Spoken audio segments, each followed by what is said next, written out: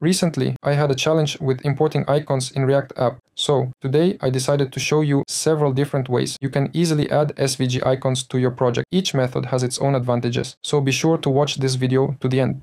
Let's start with the simplest method, directly importing the SVG file as a component. This allows you to use the SVG just like a regular React component and manage its properties. If you're using Create React app, you can import an SVG icon using the React component. However, if you're using Vite, this method won't work.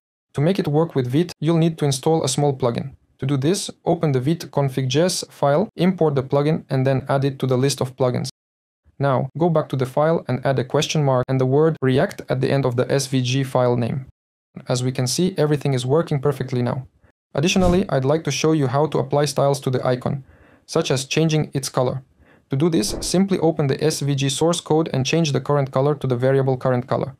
This way, the icon's color will be inherited from the parent element or whatever color you pass down. The next method is using the img tag. This is simple, but it does have its limitations. When creating a React project, you might notice that this method is already in use. You just use the standard HTML img tag. This method is good if you don't need to manipulate the icon through CSS. However, keep in mind that you won't be able to use CSS properties like fill to change the icon's color. This method is perfect for complex icons or entire images, such as logos, that you don't need to change. Method 3. Using SVG sprites. Now let's look at the third method, using SVG sprites.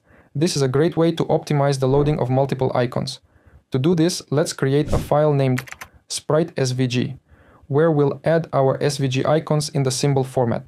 Then let's import our file with sprites in component, and now you can use tag use to display the desired icon. This method not only reduces the number of HTTP requests, but also allows for easy style management of the icons. So, those were three ways to use SVG icons in your React application. Direct import using the img tag and SVG sprites. Each method has its pros and cons, so choose the one that best fits your project. If you enjoyed this video, don't forget to like and subscribe to the channel. See you next time.